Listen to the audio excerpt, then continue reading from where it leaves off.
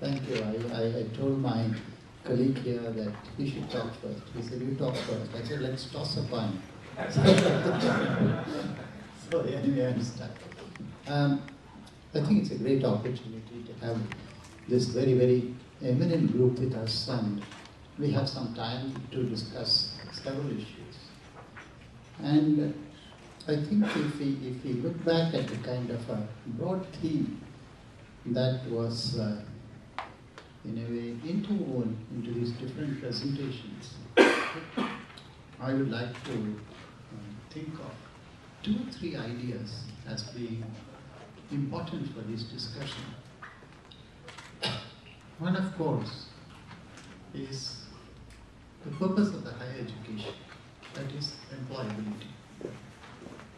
Are we looking at higher education purely as a source of providing livelihoods at a higher level, at contributing to economic development through the skills that are imparted at the university?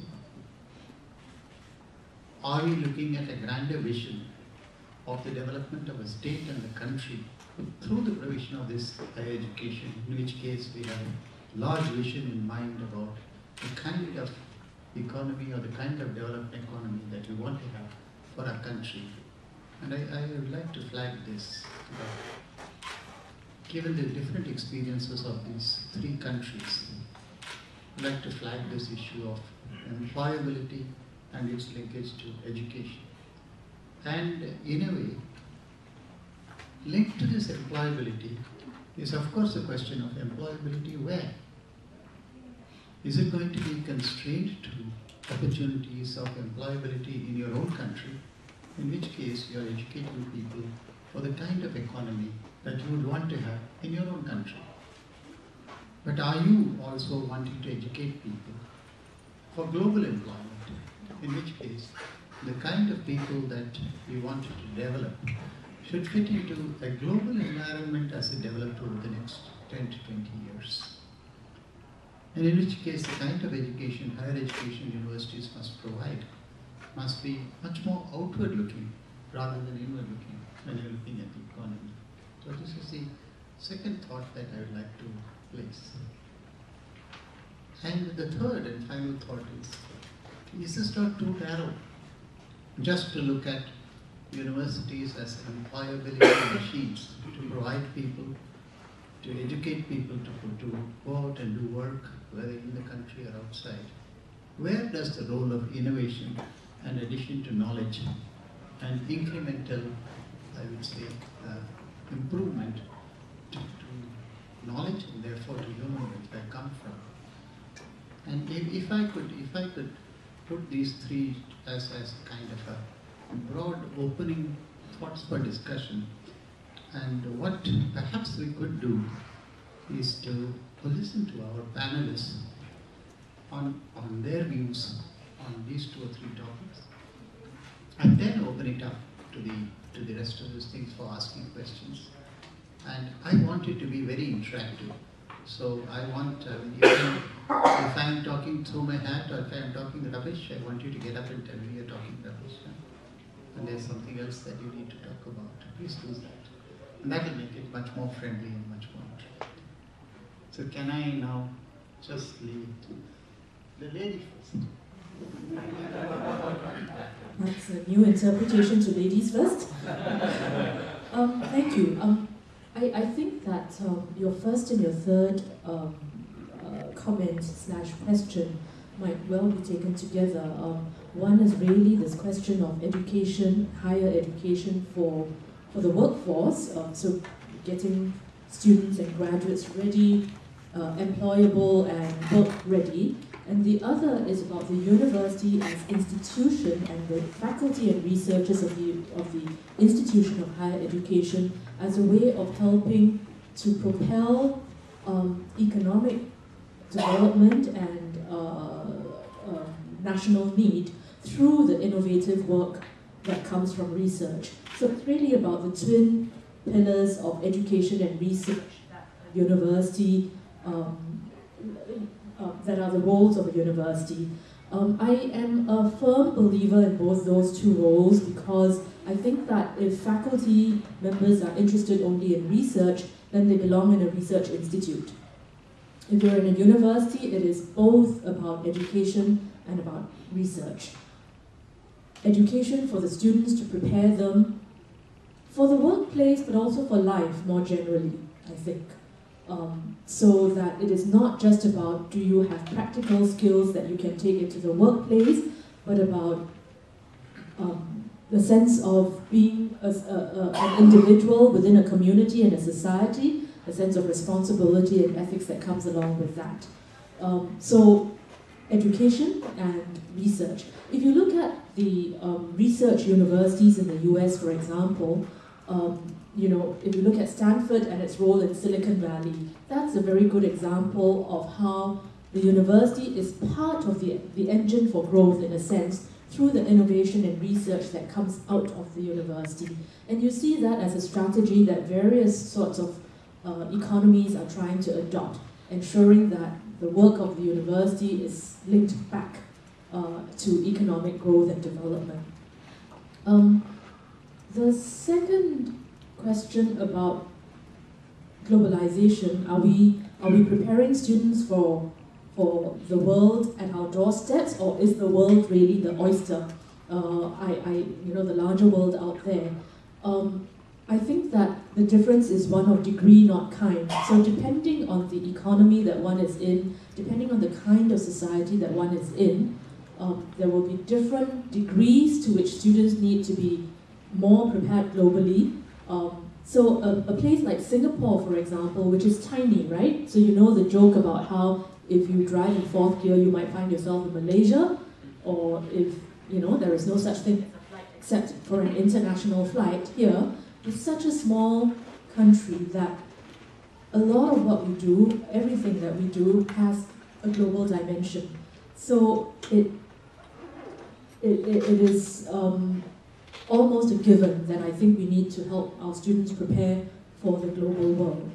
In other places which are far larger, far more uh, able to rely on themselves in a sense, even they, I think, need to be preparing the students for the global world, but perhaps the, the sense of anxiety, the sense of urgency, the sense of immediate need may be less, um, less strong, perhaps. Uh, and even so, I, I think it's really a, a question of a slight uh, difference in terms of degree rather than a difference in kind as such. Um, so if I might just pause there. Let, let, let me just uh, try to push these boundaries a bit. I think, uh, uh, okay, the Singapore vision is employability in terms of provide values and standards to provide employability which will be globally acceptable. But I think if you look at the kind of example that we saw from China, from Shanghai, there the focus is on providing the kind of skills and capabilities which are focused on the, on the internal economy. High level of technological capability, manufacturing, enormous uh, uh, uh, competence in, in, in production of goods and services. And if you look at the other side, the, the IIT, it's a totally different focus altogether. It much more towards, uh, I would say, skills which are, which are useful in the service sector rather than the manufacturing sector. So we have three totally different stories here. And I think we need to discuss whether all are relevant, some are relevant, or some are relevant only in some circumstances.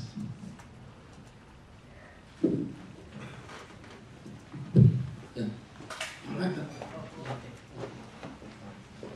Uh, I think just I mentioned this morning, uh, what's the purpose of the higher education?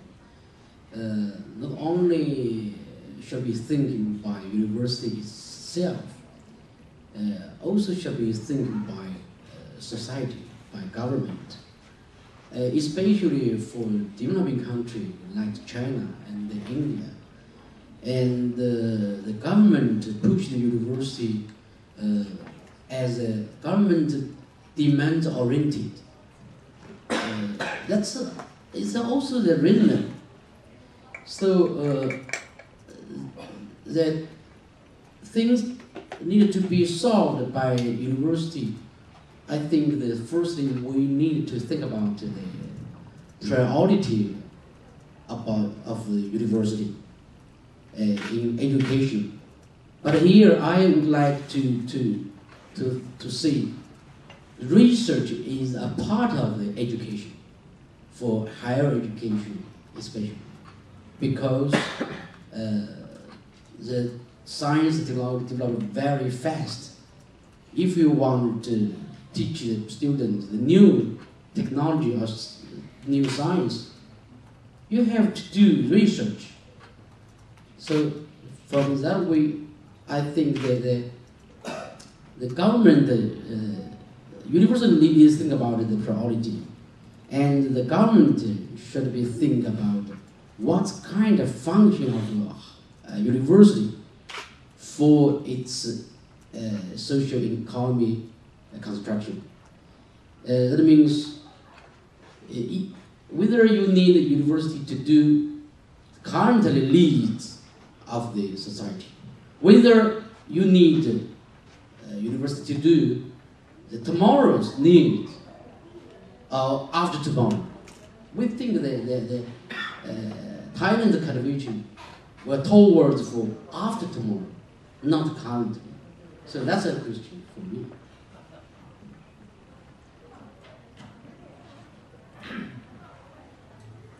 So, you know, thinking about these questions, uh, I think the answer would be very different depending on what kind of university we're talking about. And uh, really, uh, question of employability, I mean, that word was really coined by the IT industry in India, the information technology industry, which has been hiring you know, hundreds of thousands of uh, young students straight after they finish their college degree. And what they found was that many of the engineers, so their strategy was to hire any engineer. that even if you did metallurgical engineering, you could still go and work in a software company. And what they found was the skill set was not right for doing the software work or whatever projects that they were given. And hence, many of these companies actually set up massive uh, and have set up very big training centers for bridging the skill set. So, at the lowest level, if you look at employability in that sense, uh, this solution seems really ideal. That the university gives a sort of basic education, but if it's something very specialized, let's say IT, uh, you know, software development or IT services, uh, let the industry take care of the rest of the expense. However, you know, nobody from a place like IIT would now goes and joins an IT company for this kind of a job. Uh, when you have such talented people coming into a university, I feel that the focus must be the student. And at IIT Bombay, our sort of philosophy in recent years has been that can we give much more you know, choice to the students to try and grow and develop while they are in the institute, to allow them to try and figure out, you know, what are they good at, what do they like, and hence, you know, the, what we've tried to do is we've significantly reduced the core of what the students are supposed to do even in an engineering course, and a vast choice is given. You know, they can, besides doing these core courses, they can take courses in many other different fields. So I feel it is difficult for today a professor to tell a student that please study all these courses and they will be okay for you for the next 20, 30 years that you're going to be working. Because things are changing so fast, it is impossible to teach everything important in any discipline. So in chemical engineering, I cannot teach a student everything that is important about chemical engineering in the time available. So you can only teach a few important things. And then we have to leave it to the student to decide what else they would like to study and how they would like to prepare themselves uh, to essentially, you know, map what is going to happen after they get out. And really, the question of employability is where will the student end up after they leave? In most cases, even people taking up technical jobs, after a short time, they often move into very different functions. Right? And so this kind of breadth of education that was mentioned in the morning, I feel that is really quite important and uh, that should play a major role in you know, deciding where a person will work and how they will perform and so forth.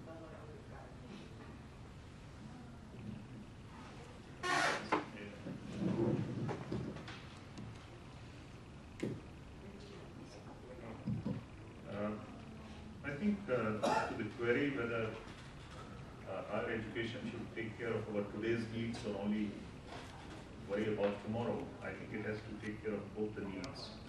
And that too, today's needs, of course, em- employability would be a factor, that is, they should learn those areas, those skills which are needed by the country immediately. But I think at the same time, we'll have to also look at what are our tomorrow's needs, because if the higher education system does not gear up today, it may be too late when the tomorrow comes, you're not ready. So I think, and also in tomorrow's needs, again, one will have to look at not only your own country's needs, but also global needs. Because as in this globalized world, where, uh, with the, you know, global aging taking place, I had mentioned that there's likely sort of a a large shortfall OECD countries at the level of about 35 million uh, people. So I think we have to prepare our people for taking those positions as well, especially when we have surplus manpower. Now, higher education, especially universities, are not only meant for disseminating knowledge, but also for creating knowledge. And this creation of knowledge again should not be for the sake of creation of knowledge. Uh, what I am referring is that we have to be locally relevant and globally engaged. Uh, like example of Brazil, where they were having some difficulty importing petroleum products. So they did research, enough research and development, and I believe the ethanol, which they have uh, started using, has replaced more than fifty percent of their petroleum. Now, this kind of a work, and similarly, like for India, I think what are our grand challenges? Now, those grand challenges, research has to be done by our people. Uh, it is very unlikely that for our grand challenges, uh, somebody else is going to do that. Even for, you know, like malaria is troubling India or communicable diseases. Now, perhaps it doesn't give enough money to a researcher in the US to do research on malaria. He would perhaps get more money if he does some research on cosmetics. And uh, so I think our people, uh, our organizations of higher education must think of those grand challenges and try to find uh, solutions for those. And also, I think employability should also improve self-employability. I think uh, in, a, in a situation like Indian situation where the jobs are not that many, I think to give a fillip to both uh, manufacturing and in general take care of the lack of jobs, I think we must, our higher education system must empower people, give them enough skills and training so that they can start on their own. They need not be only job seekers, they could be job creators. So these would be uh, some of my brief points. And uh, one more thing I would say, uh, depending on the stage of development of the country, while every good society will need poets, musicians, writers, dancers and everything, but I think uh, much more emphasis will have to be laid on those skills which will lead to immediate economic growth. I think some of these fine arts, I think in the Maslow's hierarchy of needs would come slightly later. So I think though both are required, but maybe we'll have to concentrate more on those skills and those areas which give immediate uh, uh, sort of uh, fillip the economic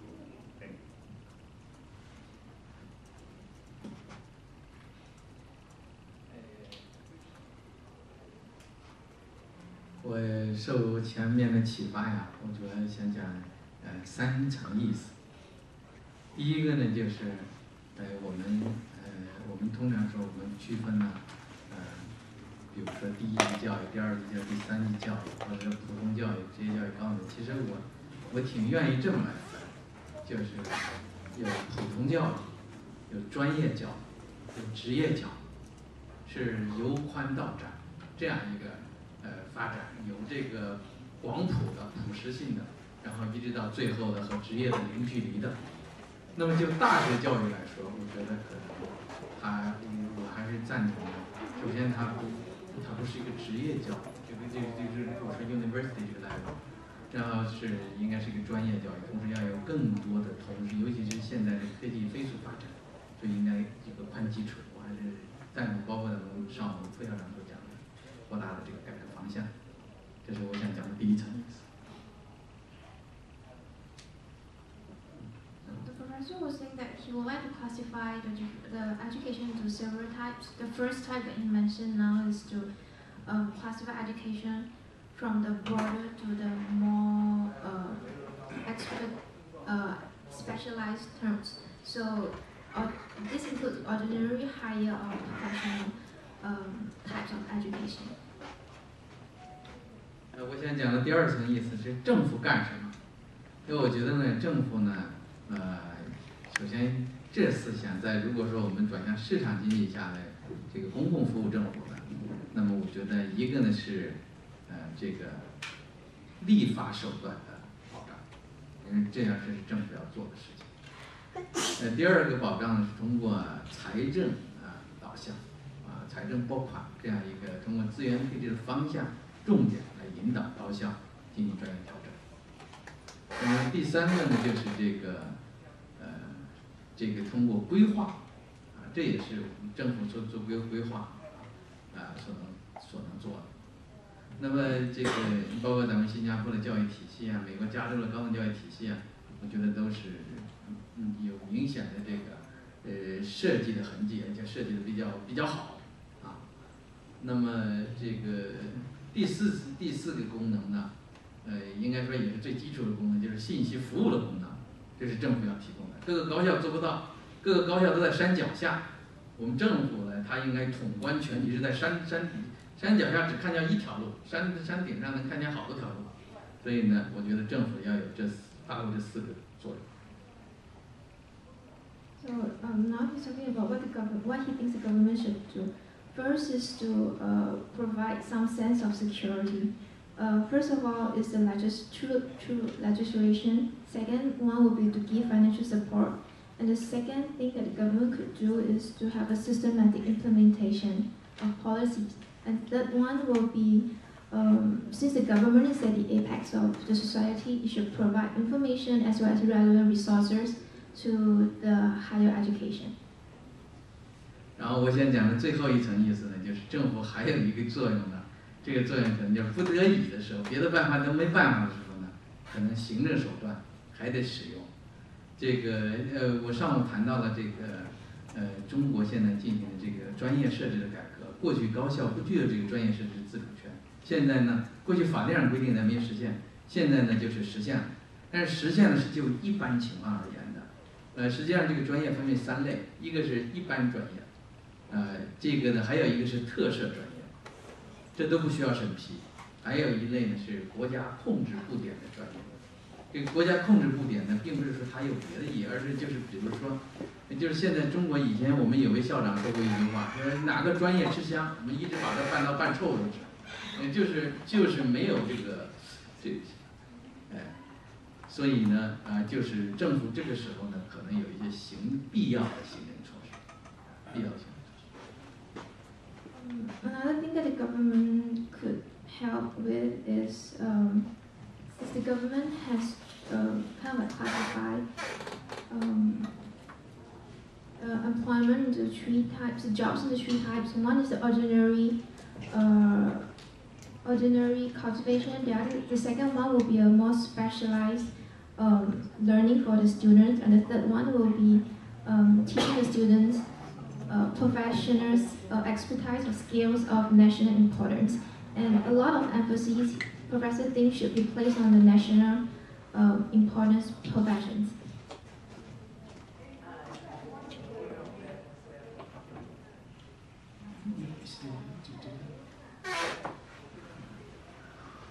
Well, as I said, in the case of Singapore, we are price takers.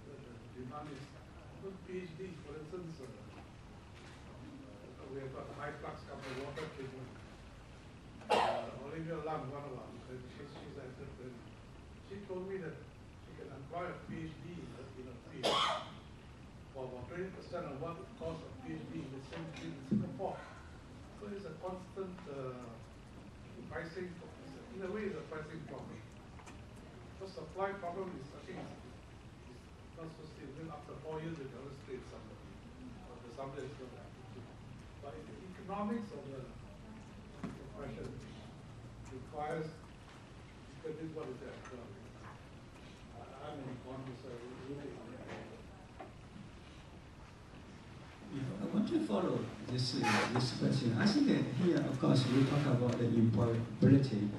Uh, we have a question about the supply demand. Like we, we supply, uh, I mean, relevant talent to according to the demand. Then uh, this morning, I would say, uh, well, several speakers mentioned uh, uh, the, the role of a university is to transform uh, society so we, in that sense, we, we need innovation. University must be uh, innovative uh, to, to play a transformative role. But here, I see quite a, a, a contradiction. On the one hand, of course, we have to supply a useful, uh, whatever, skilled labor, talent to society. On the other hand, of course, we have to transform the society. That's the one.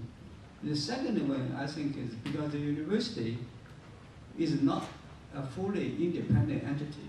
The university is a part of society, even in some cases, like uh, China, a part of polity.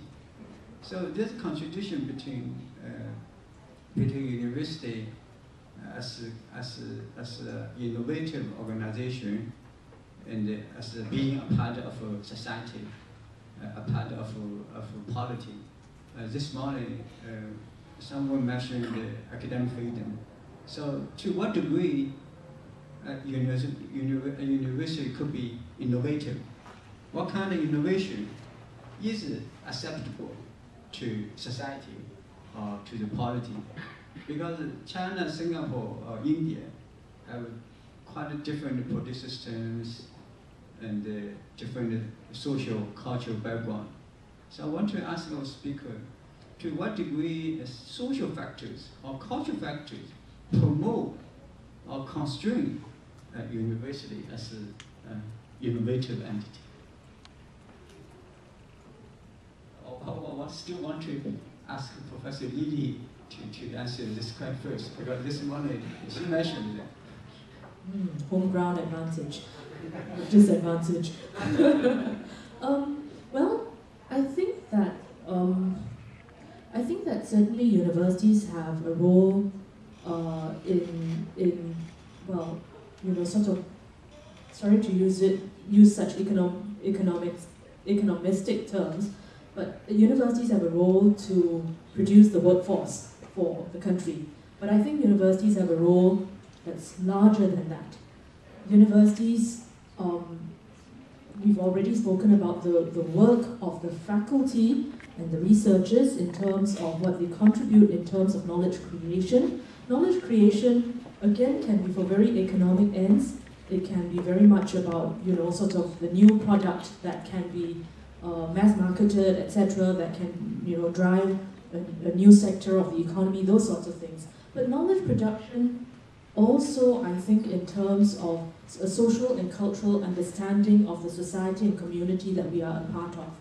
Um, I speak as a social scientist that if my colleagues and I are working on issues like immigration and understanding uh, cross-cultural tensions or understanding how multicultural societies work or don't work, I think that sort of knowledge production is quite as important in enhancing our understanding of the society that we are part of and um, perhaps sometimes contributing to policy making uh, to make for a better society and community that we're a part of. The, I guess the tricky part is when research of such a nature is, uh, is, uh, uh, comes up with, with difficult views that society has to come to grips with, uh, contrarian views that a society uh, or a polity or a government or a, a, a, a official machinery has to come to grips with, and is uncomfortable with, with the sorts of ideas, the sorts of views, the sorts of opinions, uh, hopefully, hopefully well researched, grounded opinions. Um, um, there sometimes can be that sort of discomfort. But I think that if universities are not producing that kind of knowledge that pushes the boundary, that forces us to look at ourselves uh, critically, carefully, uh, with a view to the betterment of the society and community that, that we're a part of, then the university, I think, is not doing its job.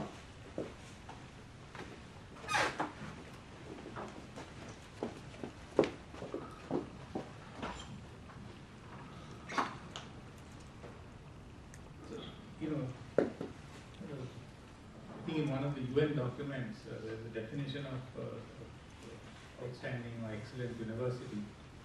And that is really a concentration of uh, excellent faculty, excellent students. And one of the strong criteria is connection to the local environment. And I feel this is something that's very important, that universities have to be connected in some way to the environment that they exist in. And uh, mentioned an example where you know, people in the university are addressing problems that are being faced by the nation, by the local area and so forth. And this could be either research, it could even be consulting or advice, or policy. So the university plays a very key role in uh, seeing how ideas that are generated within the university can actually diffuse out and be useful to society as a whole. And in some cases, it may change you know, the direction that the society is going in. That there's a very new kind of invention or you know, new kind of idea, new way of thinking. It may change the society as a whole. And I think the, society, the university does have this role because it does give an environment where people are free to think in the way they want, they're free to come up with new ideas without constraints. And uh, I think that uh, you know, they are sort of an enclave where such things can incubate and can eventually benefit society. Uh, I remember a very famous uh, Professor Li Zhengdao, the Nobel Prize winner. Uh, he said, what is a bachelor degree student? That is a student to deal with a problem which uh, his teacher knows answers the problem. What's a, what is a, a master degree student? The student also deal with the problem. That the problem his teacher don't know the answer, What is a PhD student? Is he also need to deal with the problem, but he need to find the problem. So that means for today's higher education, we need to uh, give the students some kind of the ability to to to to evaluate the the, the tendency of the the, the society. And uh, currently the, the industry goes on. And to to give them some ability uh, to adopt adaptation adapt this change of the global uh, economy. Uh, In that way, I think that we can uh, switch our uh, university function, transforming technology, innovation, method to our student. So I think that methodology uh, is quite important for, for higher education to students. That's my point. I, want to here. I wanted to add uh, one comment because here we have, uh, on the one hand, we have uh, global, universal knowledge, science, science, engineering, technology, those universities. Then I'm myself a social scientist, and then we have a social sci- social scientist, social science, what deal with local society. We have local knowledge, right? So this is the how, uh, but this is if we because China and India both are great civilizations. So I feel, for example, I don't know the case about India.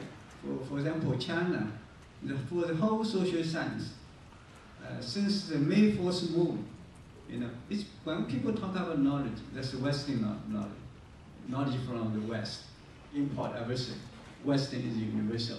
So the, the, the, the, the task responsibility of uh, the whole intellectual circle is to learn from West, almost forget their own tradition. So that's the purpose of university. I wonder whether the purpose of university is to develop your own our civilization or, or whether you want to transform your own uh, civilization to something else. So Uh, I think Will rightly said, uh, I think the cultural values, what are cherished by the society, will also, will have to be, continue to be cherished.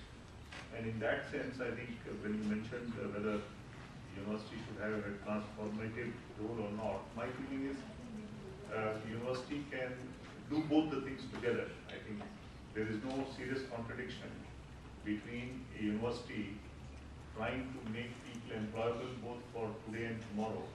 At the same time, ingraining in them the right values of the culture which, uh, I mean, the good heritage which each one of us had in our own time. So I think uh, the cultural values can still be uh, strengthened during uh, higher education. Uh, one thing I wanted to mention about employability uh, being, you know, try to meet the requirement of what the market needs. Unfortunately, in a large country like India, and I'm being very frank, I think it's even difficult to know what the demand is, what the demand is likely to be. In fact, I'm painfully aware of the fact that suddenly we found that there was a shortage of civil engineers because uh, nobody had uh, sort of thought of as to how many civil engineers would be required. There was no, the manpower planning in a large country like ours, though I think it's done in some uh, small office somewhere, but I think actually there is always a gap between what is demand and what is projected.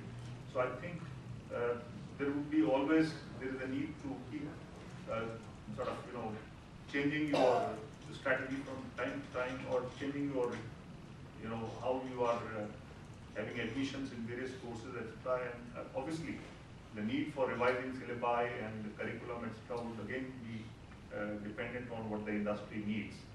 Now, you also mentioned about what kind of innovations uh, university, whether innovations are possible when people are engaged primarily for employability. I think innovations are uh, definitely possible in every uh, situation. Like, for example, I would give in our own Indian situation. Now, we have a very serious problem of our teachers not uh, having the refresher courses or the 66 academic colleges which we have in the country have not delivered. At the same time, we cannot afford to have our teachers who themselves are obsolete in their knowledge. So the need for refreshing them, giving them domain knowledge is of utmost importance. At the same time, we do not have the wherewithal to have so many, you know, invite foreign faculty or other competent people to do it. But we do have our IITs.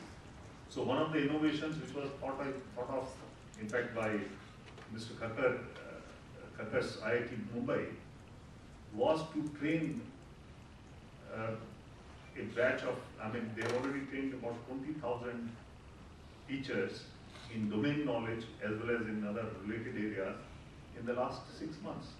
And they intend to cover in the next three years one and a half lakh, that is 150,000 teachers would be given this kind of a refresher training using ICT. They have created 500 resource centers in the country, spread throughout the country, and each one of them will be training a number of people during summer vacations and things like that. Now, this is definitely an innovation. Similarly, the you know, creation of virtual laboratories.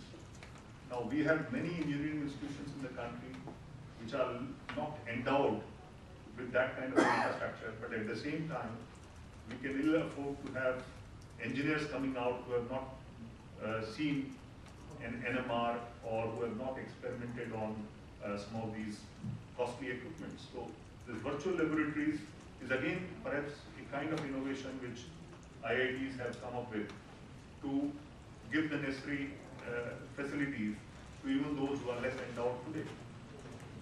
Similarly, this concept of meta university, which I mentioned, where we are taking the strength of one university and also another, and then the students have a choice of selecting some courses, some credits from one university and some others from another university. Now, as I mentioned, Jamia Millia and Delhi University have already started a course uh, on Masters in Mathematics. Shortly, Delhi University and uh, JNU are also going to uh, then uh, are going to join this Meta University concept. Then there will be need for many innovative courses, like I mentioned, shortage of civil engineers. I see in India in the coming future, if you're going to spend one trillion dollars on infrastructural development, there are bound to be litigations as well. So we would need people who have BTech as well as LLB, who are both having legal knowledge as well as the engineering knowledge. So I think some of these things, I think some small innovations in course design and things like that will have to be continuously done by our uh, higher education system. And of course, the frugal in innovations, which I had mentioned in my morning discussion of Mr. Sam Kudra, that always can be done, and they are more in the nature of value analysis than value engineering.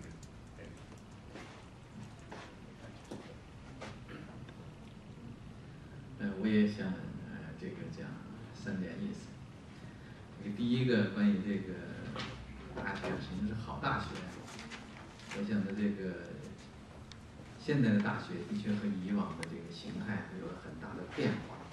呃，这个大学已经进入一个大众化甚至普及化的阶段。所以这在这样一个时代呢，可能大学的确已经是走出象牙塔。正像一位美国学者所说的，呃，大学怎么证明其价值？他原话是说，不是以其学术，而是以他的服务精神。但我想说的，这是他是表达什么意思？其实这二者它不矛盾的。就像刚才彭教授、彭校长所说的，那么其实科学研究中，它的人的两都都都实际上都联系在一起，包括手。所以呢，我觉得呃，一个大学要有具有服务精神。我想说第一层。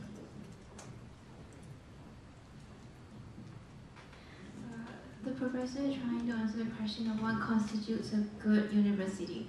The first point that he brings out is uh, university has gone through a lot of changes and developments all these years, and r- recently, or rather, n- now the current trend is that the university has come out of its uh, of it of a um, ivory tower and is trying to serve the society. 我想说的第二层意思是，大学和文化环境的确是一个互动的关系。嗯，文化环境对大学会产生深刻的影响，呃，同时， 呃，大学也会对社会文化产生反作用，或者说，大学文化本身也是社会文化的一部分，同时，它又是引领社会文化的啊承担这么一个呃角色职能，这个，所以我们说大学为什么大学文化、大学精神就在此。And the second point is that uh, there's a very, there's a link, that, um, link very close link between higher education and the cultural context of society. Uh, no doubt, the cultural context is being shaped by higher education, and higher education leads the cultural uh, context. But at the same time, the cultural context can influence how higher education will develop. 呃，我想说的呃第三点意思呢，就是这个 要从自己国家的实际出发，来办好自己的教育。呃，没有最好的，只有最适合的。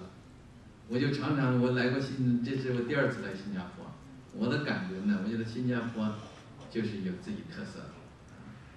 这个好的东西我就去学习啊，不怕别人说我模仿，呃。这个边形我还保留，也不怕别人说我标标新立异，呃，很有自己的特色。没有最好的，只有最适合。 The third point that he brings out is that there's no such thing as the best kind of higher education. Uh, it's the the best education in his uh, understanding would be one that suits the needs of society or the country the best. And there's no uh, it's okay to, to learn from other countries. Is uh, shouldn't be afraid that people will say that you are copying them, and then it's okay to innovate too.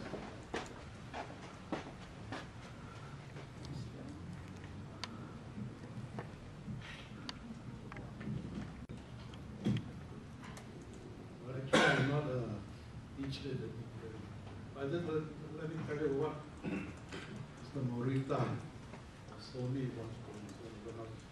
telling him. I asked him, how do you select the development engineers? Are university. He told me, says, "Well, Mr. I don't select them, they select themselves. I said, what do you do? He said, every year I try to recruit the best from Japanese universities. All of them, without exception, you may be first class, you may be average, all of them are thrown onto the product, onto the production floor. This is a, within six months, you can select those who, who, who know solve problems, those who are just interest. So instead, the guys who can fix the problem, they are your development. That's how, that's how somebody select the, the, the development engineers, you know. Then they go on to, to, to, to do developmental work.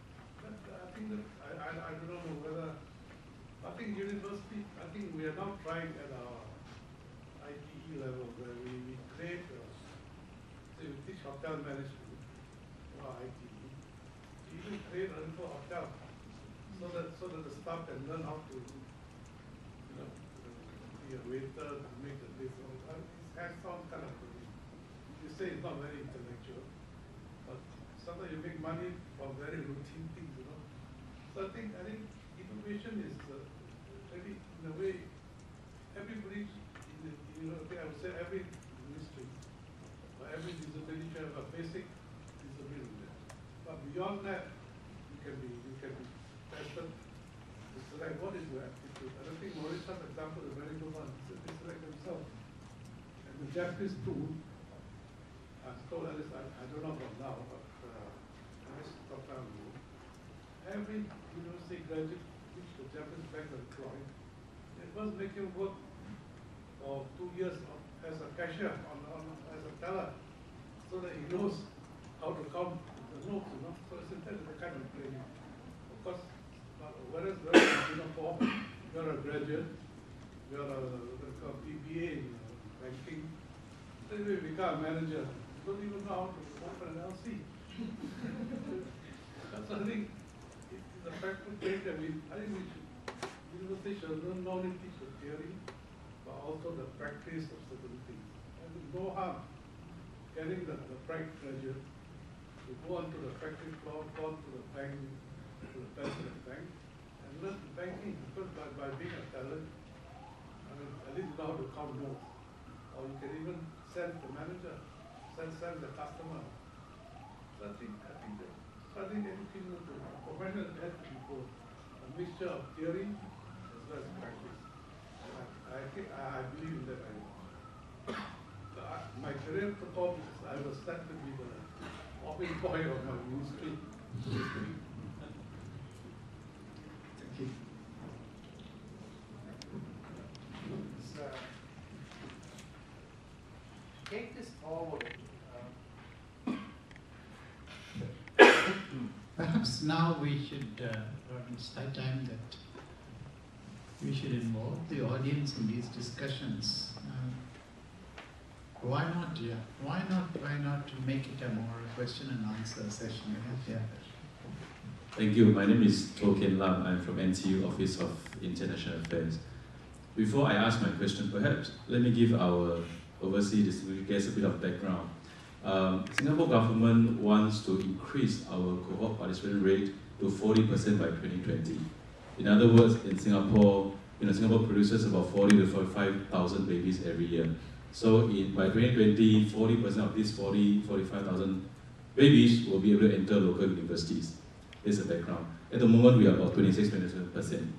My question is that um, with that 40%, maybe to uh, Mr. Ngiam, with that being one of the catalysts for Singapore economic development, you know, many years ago, with that kind of percentage, can Singapore economy take in so many graduates? You were saying during your time, you talk about one engineer, five diploma holders, and 10 IT graduates. Now we talk about 40% graduates. We talk about um, competing globally, but how many of them will actually go overseas and compete against other people? Would like to have your, your thought on this. And of course, for our guests from overseas, perhaps it may also happen in your country. You know, like in China, every year China about what 10 million graduates. All right, do you have enough job for these graduates? I'm not too sure about India. So I think this is a very important question that, especially now for Singapore, we are trying to um, um, tighten the so-called foreign uh, foreign workers, foreign labor, and that will add um, additional burden to the to the local economy because we expect to have very uh, to have a slower growth in our economy. So how can we um, have enough jobs for this 40% graduates, and not forgetting there will be at least another 3-5% who went overseas to get a degree and come back. Now, how can we solve the problem? Thank you.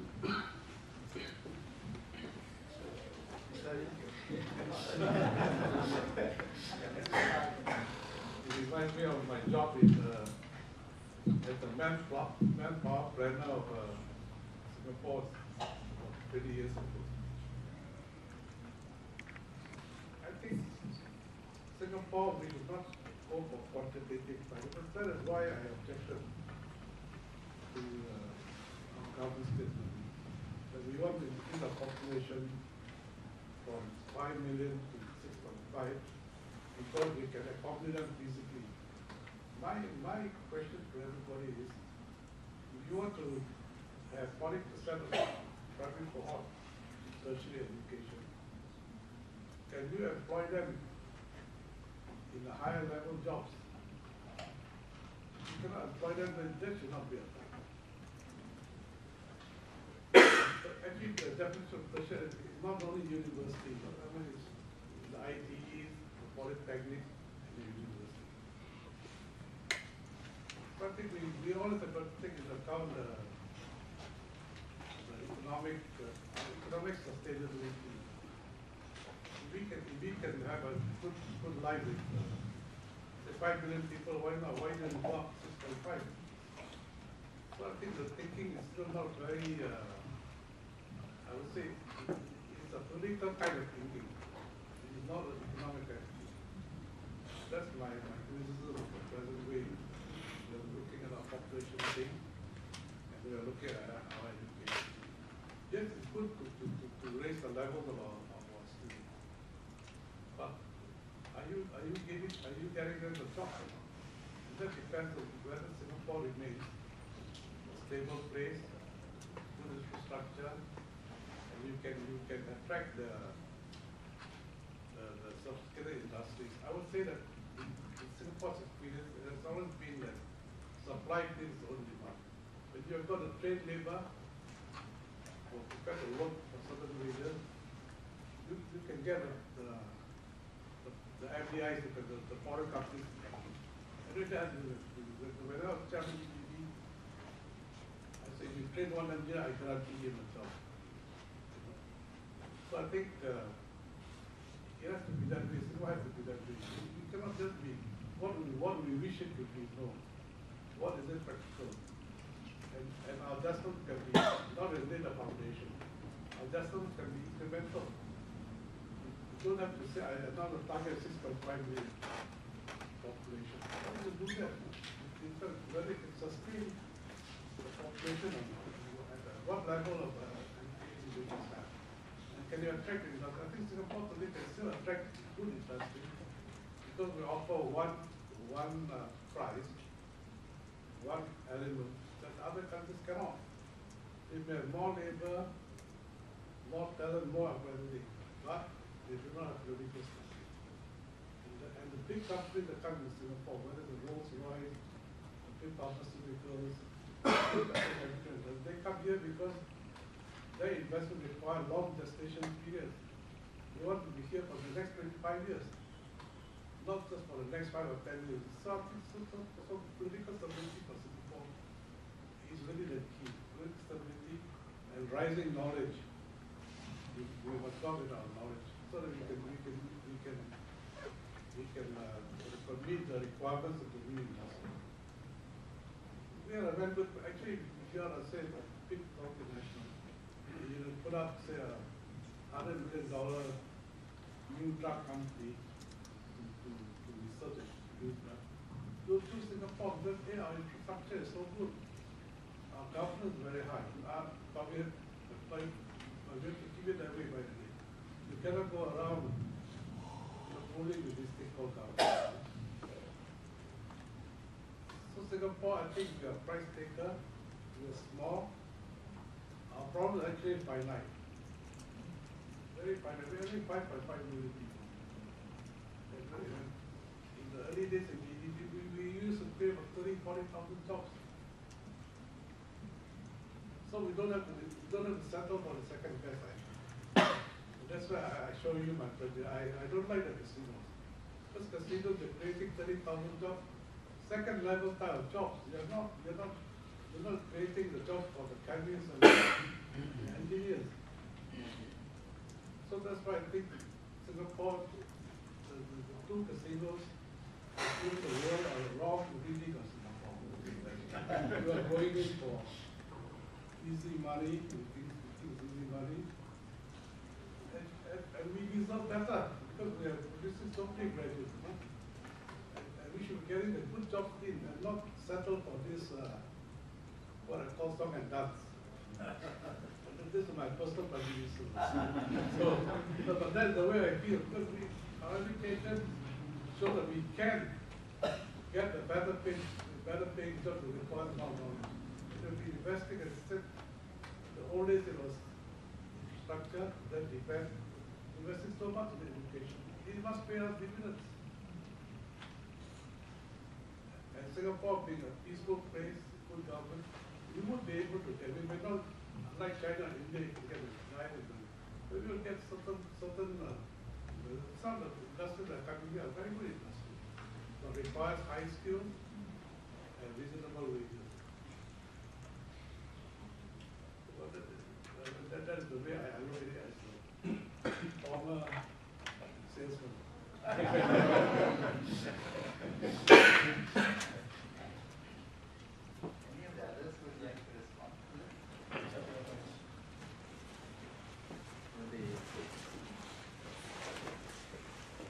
这位老师这个提的问题呢，呃，我觉得这也是共性问题。所以我就我就有两两两点意思。第一个呢，我就觉得呢，呃，肯定呢，一个社会的一个教育结构呢，呃，它是要它是要考虑的，呃，并不是完全自由化。那么这个呢，主要是因为这个，如果是你你比如说新加坡来说是百分之四十是高了低了，这我没有研究，我不敢说。但是呢，呃，有一点肯定要这要考虑，要考虑就是因为如果要是没有设计的话呢，第一可能造成教育浪费，这个不需要那么多，呃，经济社会发展需要多少，这是一个基础，所以这个这是一个。第二个呢，就是说，呃，这个会带来，如果是盲目的发展呢，呃，可能会带来一些不稳定的因素。那么这是我想说的这个一般意义上我对这个问题的理解。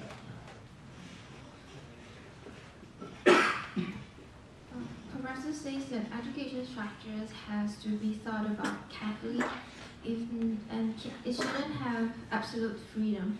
If not, it might cause some resources uh, wastages.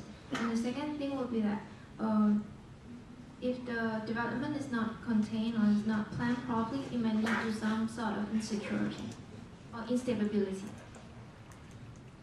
呃，我想说的第二层意思呢，就是就中国的情况来说呢，呃，我觉得也要引导人们的合理预期。呃，我的老主任呢，呃，曾经做过主持了一项独生子女的研究，呃，这个也包括一些对照组非独生子女。最后得出的结论大概呢是有一项，就是中国因为这个中国现在东方文化的背景呢，这这个大概有将近三分之一的家长希望自己的孩子将来能读到博士。中国十三亿人，这个三分之一的三四亿人跑到大街上，三四亿的博士，那那肯定是个可怕的事情。而且与经济社会发展需要也也也不匹配，所以呢，这里面当然就有一个呢，就是要靠这个，还是要有一些制度设计。那么这些年中国为什么这几年大力发展职业教育，包括中职，包括高职，也就是这个道理。现在呢，我们的统计呢，你比如说高等学校方面呢。现在高职的已经高职学校数是超过了本科数，啊，我们是有一千二百八十所，然后本科是一千一百二十九所，呃，那么中职当然就是做一个呃中等教育的，那么它是更大的，因为总共中国的高等教育毛利率才百分之二十九点九。And also, uh, he thinks that the, so, the society should have reasonable expectation. For instance, in China, there was a survey that says that uh, the parents, one third of the parents hope that their kids can become a PhD candidate, which is actually too much because it is, uh, it doesn't fit what the society needs.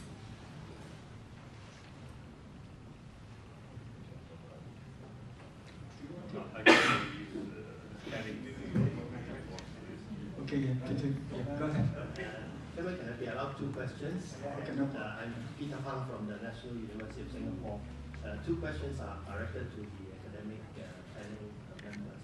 Uh, Professor Peng, in your uh, uh, presentation, you made a table contrasting Eastern and Western sort of philosophies of, uh, of, of education. Now, um, the kinds of innovations that you described, right? So you want students to become more uh, questioning and, and so on and so forth. And I like the word that uh, Professor Khakhar used, uh, in, in, in, irreverent. Irreverent. That's a foreign word to me. yeah. um, so do you see a convergence of uh, sort of the, the, the, Eastern and Western uh, sort of philosophy or whatever of, uh, of education? Do you see that convergence uh, in the future? And the second question is, it is uh, uh, an old economist uh, article that I was happened to be reading yesterday, and I found out that McKinsey uh, divided American jobs into three categories: transformational, transactional, and tacit. Uh, transformational means extracting raw materials and converting them into finished goods. Transactional means interactions that can easily be scripted or automated, and tacit means complex interactions requiring a high level of judgment. Now, there's an old school of, uh, of thinking to which I probably belong, judgment comes from experience. Uh, but nowadays, we of course have no time for experience, right? So you become a CEO at age of 40, otherwise you're a loser. Um, so, um, so um, I, I suppose higher education will help have, have to help students uh, develop judgment uh, through other means, right? Or maybe contact or experience or whatever. There's a lot of talking about uh, sort of experiential learning, we know that that's not real, real world.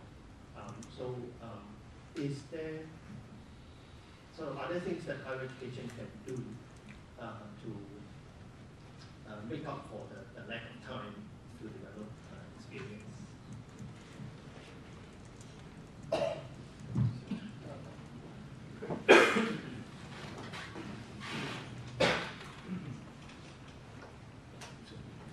I think that one thing very important is to create that kind of environment. You know, and you can see that in some places, you know, you have so much innovation coming out. You, have you know so many leaders being produced from some places, and a lot of it is dependent on you know, how the peers interact with each other, and you know what sort of environment, what freedom they are given to do these things. Uh, just to give you an example, you're talking about uh, you know young CEOs. Uh, so you know one of my alumni, he was very interested in business, and this was in the he was a 1969 graduate of IIT, so you know, very long back. He actually started a company inside IIT as a student, and his company was just supplying, you know, small snacks because at that time there was nothing inside IIT. So he started a company, but he had a board of directors, he had all this stuff and he actually went through what a CEO or whatever should go through at that small scale. Today, is, of course, the wealthiest uh, Indian American in the US, billion dollars. I think that you know you have to create the environment there so that people gain the right kind of experiences. Uh, because it's impossible to get this kind of uh, confidence or you know, being able to make judgments and so forth, unless you've done it at some stage in the past. I, I want to uh, talk about uh, my point of view about uh, education philosophy, uh, why it's quite important uh, right now for Chinese uh, university. because I think this, in, in China, the traditional culture uh, very impacted for the students. And uh, even uh, your children in kindergarten, and the teacher uh, saying, this is right, this is right. It, your children don't care about uh, what said about the parents. Just believe the, the, the, teacher. That's a, a, a tra traditional cultural impact to, uh, to our children. and if we review uh, uh, uh, 30, 30 years uh, education reform, maybe uh, Dr. Yang is an expert. But uh, we just we often discuss about right now in China we need more education expert. Also, we need more students the first, uh, first uh, issue is, easy to understand. A second issue is it's difficult to understand because right now, millions of students uh, in university right now in China. But uh, from another point of view, most of them are not students. They are uh, examiner from the primary school to university they can do examination very well, but they cannot do things uh, with create, creative ideas. So that is, that is the reason why Chinese university need to enhance such kind of the, the creative ability uh, from, so we need to learn from uh, uh wisdom. We, we need to uh, exchange ideas uh, different countries professors. We need to share this different category, uh, how to improve our edu- higher education. That's uh, the reason why we put this table in this Um, if I may, uh, just two comments. One is um, when we talk about experiential learning, um, the way in which we've interpreted it here, here at our own university, but also in many other universities I've seen, is to say, let's get the students out into other parts of the world. Let's get them out for a week, two weeks. Um, they see different things, right? And, and so I think I, I would describe that as learning by observing. And I think that's good. That's, but I think that what's really lacking in the really experiential learning is learning by doing. Um, we're not getting our students to do things sufficiently.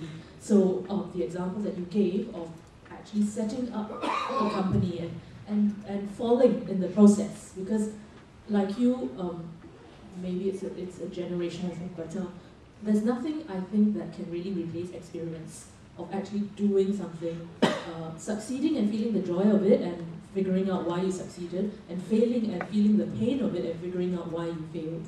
Um, so, so I draw that distinction between learning by observing and learning by doing. That's one comment. The second comment I have is a more general comment uh, about education and what we're doing as educators. I feel that very often we're introducing more and more new things more and more new ideas, etc. But we're not really taking stock, at, and, and this is the researcher in me, we're not really doing our careful research to say what actually was the outcome of that experiment in educational pedagogy or something. So, for example, we, we think sending our students out on uh, an NUS overseas college is a good thing. We think that technology in the classroom is a good thing. But is it? And how has it been good? And how do we and um, how do we make it better? Have we done the actual research to say what are the educational outcomes of things that we've tried? Um, and I think that sort of educational research has been lacking. Uh, I think the speaker, uh, uh, the best thing, of course, is to have the experience of doing and learning. But I think in our some of our educational institutions, the case study method, I think the where case studies are discussed, also I think uh, give us a distilled wisdom of uh, somebody else having gone through that experience and uh, given us how he or she managed that situation. So I think even that would be fast tracking experience to start.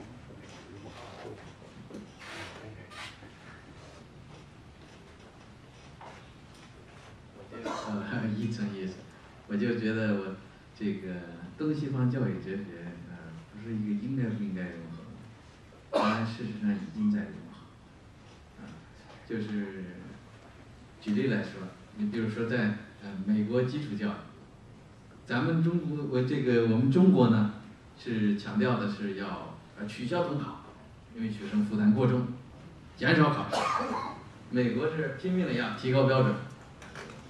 看起来是是不同的方向，其实反映的是一个共同的趋势。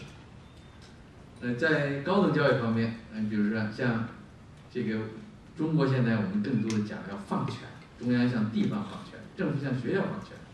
而美国这样一个地自这个地方分权的自由主义传统的国家，它是不搞高等教育的，除了这个加州是搞了，这个整个国家没怎么搞。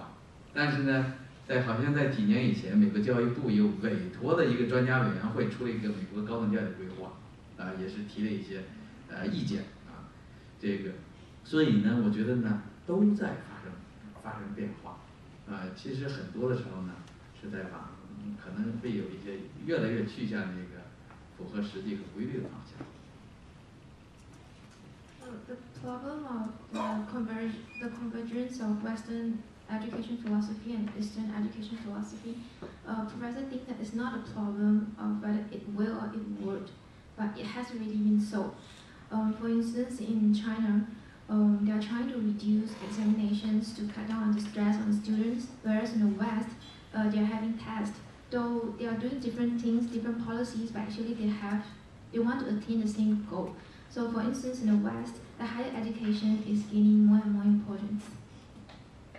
包括这个中国现在，我们现在在这个推行素质教育啊，其实你看这个纲要里面有一句话，以教师为主导，以学生为主体。这句话其实不是新话，但是这个后面还有一句，反映我们的着重点，就是更加注重发挥学生的主动精神。这应该说就是应该说也是学习国外的一些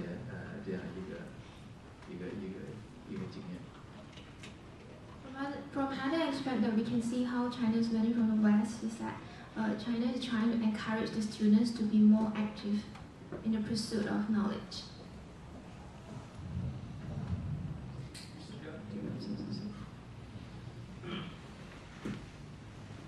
Well, I can tell you my experience. I would say that in the seventies, we established a joint Seiko setup from Seiko was Seiko Training Center. And, uh, and uh, we, supplied the facility, they, they brought in the trainers. So, so they're teaching our students how to machine by hand, manual machining metal pieces to form components. But two years later, CAD-CAM machine was introduced, CAD-CAM, where you just, you just set the computer, the thing will then cut the, cut the metal. So I asked the Japanese, uh, man, me that we wasted our two years teaching the boys how to machine the metal. He said, no, no, Mr. Ngiam, they are not, fact, by machining with hand, you strive for perfection, and you know what is excellence, what is perfection. Therefore, he said, the spirit of perfection is already instilled in him.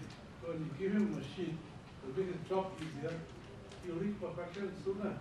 So, so it is a mental, so he, he opened my eyes. It's, it's not just a manual, it's a mental exercise. That because a mission by you know, he, he, he, knows the idea, he knows the meaning of perfection. And that's why Japanese products they seldom fail. You know? So this is, I think, this, I think uh, experiential learning is not just, I think if I may due respect to case study. Case study is just somebody tell you how to, but you, you, never, never went through yourself. To, so the second best. is- Yes, again. And let me tell you how I was chairman DBS Bank. And one day, an Indonesian Chinese uh, entrepreneur came to see, asked him, asked me for a loan of thirty million dollars. To set up cold storage plant for his prawn farm somewhere in Sulawesi. So he told me, you, you must come and see my farm. Said, how big your farm? He it's the size of Singapore Island. He you must go out with a helicopter. So I told her, I'm very risk averse with helicopter. I want to go manage. But I, I, I asked him, what is the one element you consider most critical for your success? And he told me it's very simple. The fertility of the mother prawn. The more babies the mother prawn, the more pride the baby the mother can, can give birth to, the greater, the volume of production. Fertility. So then he, he got it, and then he, that's how you fertilize the, how do you make the mother prawn fertilize? So I hire a University of Hawaii professor, one million dollars have, to devise a technique that somehow you make an incision somewhere, and increases the, the product, the fertility of the mother prawn. That was success. Something in any business, you must go through it to know what is the. So he satisfied me, so I gave thirty million he it. But if you got it back, Because a, a, a true businessman, what he will, he has to say, what is the most essential criteria for success? He will give an explanation that is rational. Rational. So I think that is the successful learning, can be a case study. The gentleman.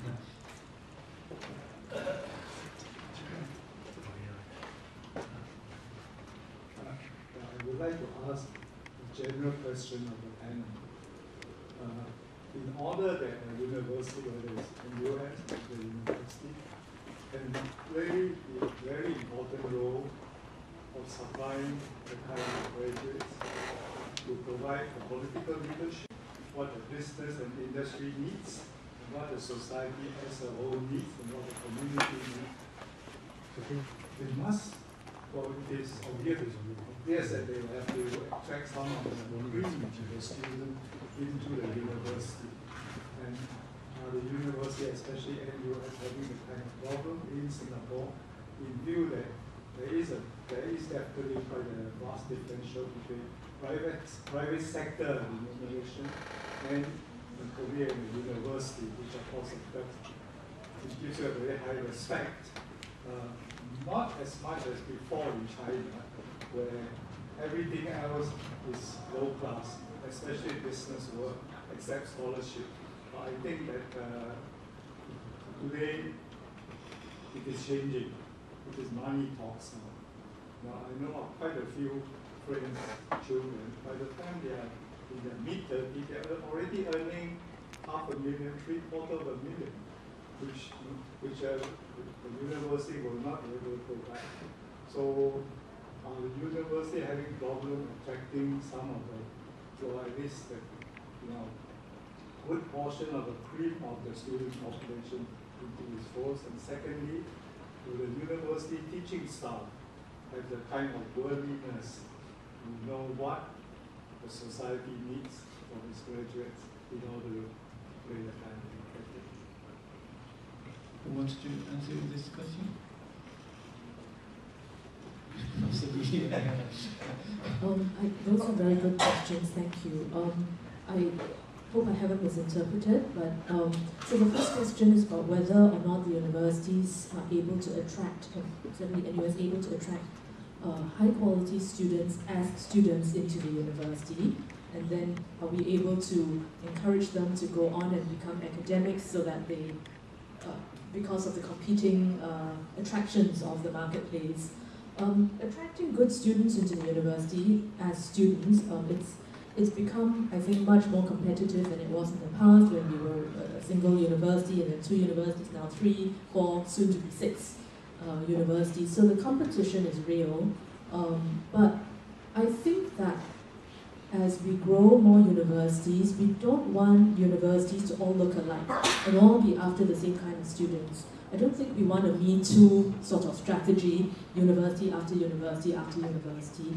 I think that there are there are students with different kinds of talents, different kinds of predilections, and, the, and there must be different kinds of universities, different kinds of pathways for different types of students with different strengths. So more technologically oriented, more comprehensive, more, you know, uh, applied or practical in that sense. And I think all the different universities must then be able to attract the, the students best suited for the character of that university in a sense, it's like what our uh, colleague from China was saying, there's perhaps no such thing as the best, but the best suited in, in that sense. So that's one. Uh, are we able to then attract our best graduates, or some of our best graduates, to say, stay in academia and do something good for the next generation uh, through education, as opposed to going out to the marketplace and making tons of money? Um, I think that this has been an abiding issue for, for NUS for a long time, particularly during the years when Singapore's economy was thriving. Uh, it's very easy for a young graduate who's been studying, you know, um, however many years in their life, 16 years of their life, to say, well, I just want to get out of school and I want to start getting to work and I, I want to make my, my, my first dollar myself. Uh, and so um, in the late sorry, in, in the early 80s, um, right up to the 1990s, NUS had a scheme, um, for the, some of you I think will know this, which we called the Senior Tutorship Scheme, which was quite a, a, a I would say, a generous scheme. What it did was to uh, try and pick from amongst the best graduates and say, you seem to have a penchant uh, uh, uh for, for academic work, would you consider joining the university? And we would sponsor your studies, uh, your PhD studies overseas, and at the same time also pay you a salary. After which you're obliged to return uh, and you know become an academic at NUS. A few of us in this room, I think, were on that scheme. uh, I, I certainly was one of the beneficiaries. For someone like myself, where it would have been impossible for my family to afford an overseas education for me, uh, it, it, it did the trick for me. I was interested in research. I was also worried about, you know, sort of having my family support me for so many years and you want to study some more. Um, if the university had not had a scheme like this, it would have been very difficult for me to do something like this. I use the past tense because that scheme has morphed and morphed to something quite, well, somewhat different now, so it's no longer as generous. Is it therefore able to attract some of the best students? Uh, it's hard to say. Um, the scheme that I described, which I was on, I think had its benefits in being able to attract quite a number of my colleagues, uh, some, uh, quite a lot of my uh, contemporaries into academia, but it also had a pitfall. The pitfall was that perhaps it was so generous uh, that people, well, this is a theory anyway, that people kind of felt it was an iron rice bowl. You've invested so much in me, you're not going to fail me as an academic, right? So, so you've, you've paid for my education, you've paid my salary overseas, etc. And when I return, I'm not as competitive with other academics internationally. That's okay, I'll still have my job. You know, so, so the theory is that some, some went a bit soft. Um, and so the scheme was, was revised. But I, I fundamentally think that it is, it is uh, um, it is a necessary scheme, particularly for economies which are thriving, where the lure of the marketplace is strong. Um, of course, nothing beats picking the people right, um, picking the people well, because you don't want people joining academia just for the money.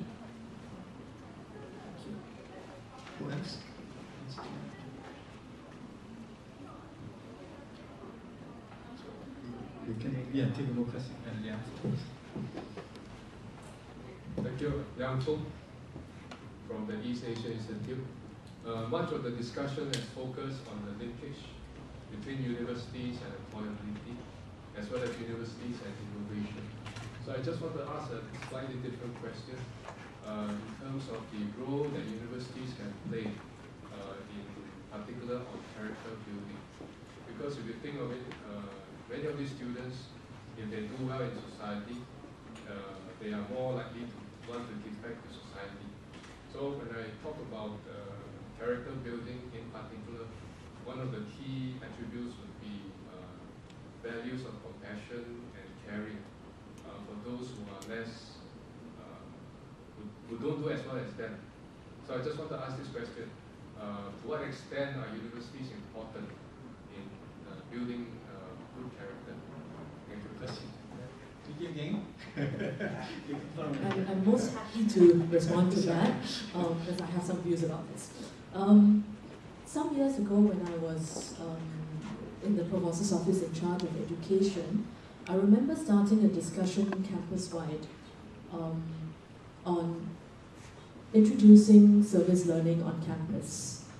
Um, the reason I did that was because I felt that um, um, much as we were doing many good things in terms of developing the technical knowledge of students, the academic knowledge of students, perhaps we weren't paying enough attention to this dimension of learning and growth as individuals. What is service learning? Um, it's really about getting students out into the community, uh, getting involved in various kinds of community service, uh, but not just uh, you know, two weeks stint here and uh, three weeks stint there, and then coming back and feeling good about oneself and kind of pat- patting yourself on the back to say, yes, I have gone to an elderly care home and I've done my two weeks with them or something like that. Um, what I was also interested in was to get um, students to be well prepared, uh, thinking about the issues, thinking about what assistance means, thinking about what um, what what what social service means, what welfare means, what um, you know. So, what are what are the causes of uh, say poverty if you're working with people in in uh, in need, for example? Uh, what does mental illness mean? How does how is that pathologized and etc. So thinking about it, studying about it beforehand going out and doing something about it, and then coming back and reflecting on it. Um, so, so I was quite keen to, um, you know, introduce this, etc. There were efforts at it, and some of that I think still remains. Um, but suffice to say that it was difficult to do it on a large scale. Uh, it, it, it is true to say that some thought this is getting in the way of, of real education. You know, uh, I need to get my course accredited. Why are you asking me to take a, a, a four credits out of this to go and do this kind of thing? And it is true that at the student level, some would say, if you don't give me any credits, why am I doing this, etc. So it, it did run up against very practical issues. Um, uh, that, that, that have been units, um, Peter's unit, University Scholars Program embraced it, it still does it, um, but, but it needs local leadership in that sense, I think, and a commitment to it. Do I think that universities have a role in this more generally? Um, I think as educators, yes, generally. Uh, should it be done in a formal, in the curriculum sort of way? Should it be done outside the classroom? Uh, I think it's probably at this stage um, more difficult to do in the classroom as such. Uh, in the nature of uh, character development, it's probably also better done outside the classroom. Uh, but therefore, it also means a certain degree of informality, a certain degree of um, uh, uh, more volunteer leadership in these areas. Um, my final comment is that those, you know, students at university going age are in a sense still in their formative years, but not as formative as in their teenage years, where perhaps the greatest influence and the greatest possibility of change, uh, it, you know, is, is likely. Um, so by university, still possible, but probably a little bit more difficult by then. So um, for what it's worth, those are my comments. Thank you. Yes. Oh, yeah, I think uh, this character building, uh, I think in India, in our Indian traditions, we used to have a system which was called Gurukulam. That is, the students used to go and stay with the teacher in his house and learn, and there, even the kings used to send their children to the same uh, teacher, and they also used to stay in the same campus, observing all those things which were common to everyone. And I think that kind of system gave them the value system. But today, instead of Gurukulam, we have Shishyakulam. Why I'm saying that, your internet reaches your house. And most of the teaching takes place through that. In fact, most of the teachers do not know the names of their students even. Because the class is so large, so that personal touch which used to exist between the teacher and the student is totally missing. And of course, in our uh, anxiety to push in more domain knowledge, we've also removed those lessons on ethical values and uh, value system from our syllabi curriculum. I think so. Gradually, in this materialistic world, I think we have given a go by to these ethical values, etc. Why I'm submitting this? I think uh, I hope I'm not wrong. Most of the scams in the financial system, etc. The, brains behind them have been very highly educated management graduates. Now, how does this happen? In fact, it's even a pity. I think even um, I remember, if I remember correctly, the behind the terrorists who attacked the twin towers, there were some engineers. So I think uh, we are somehow in our this materialistic world, we have lost track of this character building, which is an essential part of education. So I think you're very right that we have to uh, come back and uh, get that uh, thing back into our system. If I'm sorry, if I might just add a small footnote, I just remembered something else that um, when I used to chair the University Committee on Educational Policy, which meant that we looked at every single uh, new program or rev revision to existing program that exists in the university. Um, a couple of my colleagues on that committee were wonderful individuals who always ask the hard questions about where is the ethics in your, in, in your curriculum? If you're doing engineering, where is the environmental ethics in it? If you're doing business, where is the business ethics in it? Obviously, teaching in the classroom is one thing. We were talking about learning by observing, learning by cases, or learning by doing. Um, so, so it's only one dimension of learning, but there was, you know, if you've got the right people as the right gatekeepers, it can go a long way. And in, at that particular juncture, I remember these two colleagues in particular whom I so appreciated on that committee because they always asked those questions. I would like to listen two speakers from China. You what, what university, what professor, what role they play? Uh, uh, for career, uh, curricular uh, development is very important for every staff in the university. And, and, and uh, uh, currently, I think in China, we, uh, for the management level, we uh, face some more challenges than in Singapore or in India because we cannot res, resign the, the, the, the faculty. Very difficult.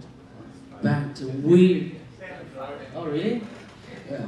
But, but we would like to provide and help, suggest our staff to go their super ways.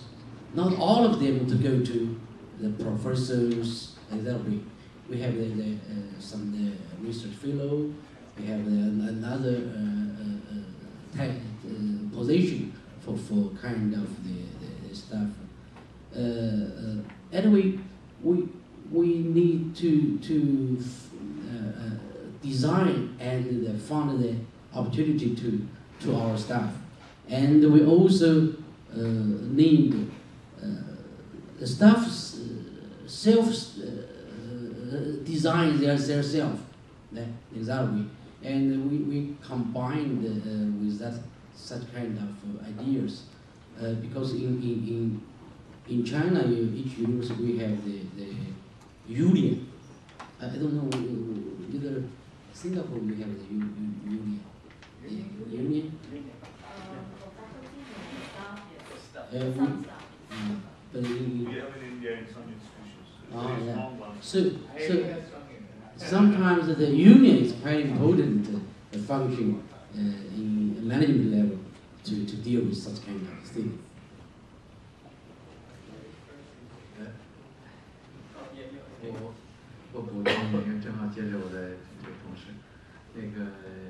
首先我觉得这个老师问的这个问题很好，啊，其实这说到了一个教育的本质的问题，这个 education 和这个 training 的区别。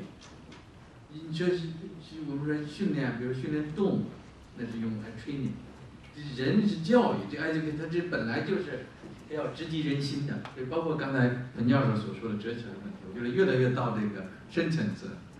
那么，这在中国呢也有一句话，这个这个你这个身体不好那是废品，啊，你这个能力不强你是次品，你这个品德不好那你就是危险品，嗯，所以的确呢是这个问题非常非常重要啊，大善大恶都是有能力的人做的，然后这个这个所以这个能力这匹马呀必须要得到驾驭，就我就想到了这个。爱迪生他两千多项发明造福我们的，呃，他生日的时候人们给他庆祝，他说了一句话，啊，他说，人类能够以智慧去创造一切，人类也应该能够以品质去掌握和控制一切，所以我首先我觉得这个问题提得很好，很重要。The professor says that that is a very um, important and crucial question. Because it touches on the fundamentals of education. Um, to him, edu- to educate is not to train, and education, in a sense, has to be controlled. Uh, then he cited what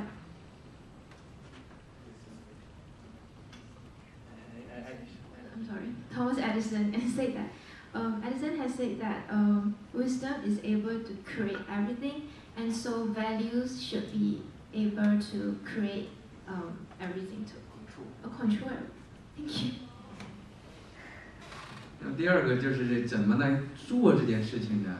我倒觉得呢，可能咱们各个国家都有很多好的经验，呃，也这个归结到我觉得有两个呢，就是一个从学校能做的呢，呃，一个就是利用这个 curriculum 啊，这个显性的和隐性的力量，呃，包括隐性课程。就我我想起来，我这个，你比如说，在我我到过的这个咱们这个李光耀政策学院，呃，咱们国大的，我看我当时我看那那那个里面墙壁上就有很多的那个名言，它本身也是教育的力量。我看那些所有的是教育的，都是跟教育有关系。这就是个隐性课程，让每一堵墙壁都能够说话，嗯。然后再一个当然就是教师的力量，这个教师身先垂范，这个这个学高为师，身正为范，所以这个教师这种影响是不可少。 So now the question is how to go about implementing the values. Uh, there are two ways that he cites. One is through a subtle way. Uh, he gives the example of he wants to just speak on use of policy and then he sees that uh, many mottos hang on the walls. So to him, every wall speaks. in a sense, when people go there, they get kind of like get um, influenced by the things uh, that are hung on the wall. And the second thing will be through a practical way that is through the educators themselves. Of course, the curriculum. Do you have some? Oh, uh-huh. I was just uh, helping with the translation. Uh-huh. Probably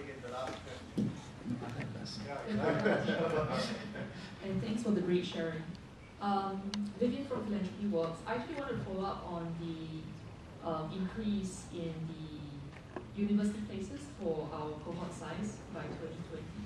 So, um, has there been research done to see what the impact of such a relatively rapid increase, this is a 15% increase in uh, university places, what kind of impact would that have um, you know, you raise questions on whether the economy would produce jobs that would be meaningful and challenging um, for university graduates of, I guess, 2024, right? Or 23, sorry. Um, I mean, you know, on one hand, we already have a shift to uh, Gen Y and, you know, a greater search for meaning even uh, in roles, right, uh, in, in jobs upon graduation. So that is already a shift that the marketplace or the workplace is grappling with. So if we have a larger number of um, university graduates coming onto the market with presumably similar expectations, at the, to say at the very least, um, that are not met, doesn't that harm social stability then? And doesn't that, um, you know, and, and this has already been brought up, it's pretty clear to see as well. Um, it devalues the value of a university uh, degree, which means that we would be forced into an arms race to go on to master's degrees. And this is already happening, right? So um, I grew up here in Singapore. I went um, to the US for my undergrad and grad studies. Um, and amongst my friends, you know, there were quite a number that said that, uh, you know, a basic degree, even from the Ivy League or Oxbridge, is insufficient. You need the MBA. Uh, and of course, the you know quite a number of schools are quite happy to do that because it increases their revenue and you know um, has other uh, you know benefits as well. But does it really benefit the economy? Do the does the increased investment in terms of time and resources actually bring about real value um, in the in the work done by such graduates? So you know, is the ROI in fact positive and reasonably positive, or are we uh, venturing into the realm of diminishing returns? So coming back to um, if I may also, you know, a related point actually is what. Um, your question. um, well, so is that move, you know, a, a well-considered one, and what is the evidence for and against that? Um, and you know, related to that, university differentiation within Singapore, uh, that sounds wise, but is that really going to play out, you know, in practice? Because if we look at what SMU strategy has been, it has essentially cherry-picked the most, um, the most lucrative uh, career paths, uh, you know, VSA and US graduates, right? So I think it's pretty clear that, you know, it's the business grads, and within that, the finance graduates, and clearly law graduates as well. If you look at the structure of Singapore's economy, if you look at the proportion of jobs, highest paying No, jobs. I think you need, you need to focus on your question and Okay. the panel to answer. Sorry, so um, essentially, is it is it the right move, and you know, or what key decision would you? If, if I may, I think this is, uh, in a sense, a, a repeat of the question that was asked earlier. And it's a question that I, I asked myself. So if you're looking for answers from this panel, I think um, you're not going to get them because we're not the policymakers. Uh, you've heard Mr. Ngiam's views, and uh, if I read his, if I heard his views correctly, he was questioning uh, the, the, the policy direction, as I am as well. I've raised these same questions, um, and one, just one additional question, um, which you haven't actually raised, but which I think is im- implicit in some of this. Why is the government making this move and making this move so rapidly? And the question that I have asked is, is the government responding to public pressure uh, for enthusiasm for degrees? And the question that I have asked as a consequence of that is, are we therefore transferring the political pressure now to later?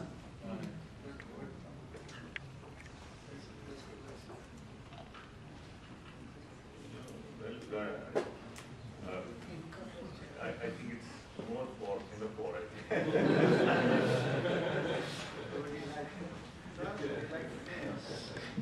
Used to be a decision maker.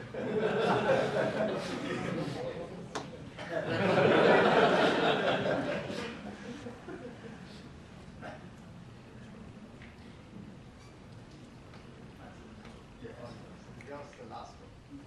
No, my question took a second, maybe I need it for next year. Uh, But actually, we, we, we had the whole day now discussion, deliberation, and I have learned a lot. Yeah, it's, it's, so I hope our, our this this dialogue will, will be will sustain in the next year. I have still many questions. But I'm very interested in higher education. China, India, Singapore. So, so, sounds we, we just end exactly four o'clock, so we'll end the session. So please join me to thank our wonderful speaker.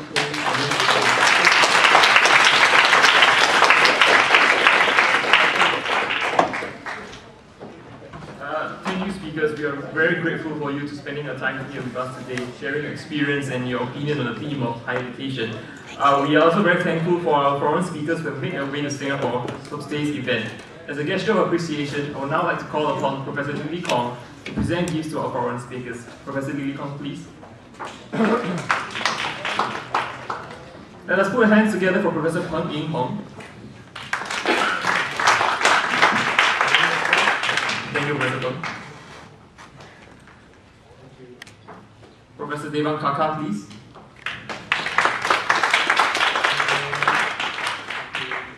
Thank you, Professor. And now Dr. Yang Yinfu, please.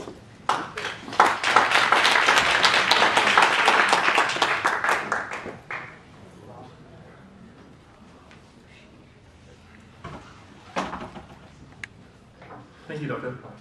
And finally, Mr. R.P. Agrawal, please.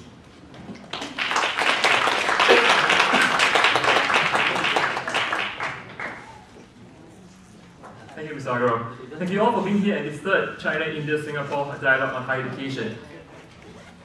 No, that's all.